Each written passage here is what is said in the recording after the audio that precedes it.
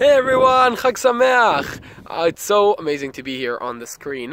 Uh, I remember last year I was just there. Uh, I wanted to wish you all really Chag Sameach. Have a great, great Hanukkah. I miss you guys a lot. I had a wonderful time with you last year. Um, and I can't wait to see you all in Israel, here in this beautiful place.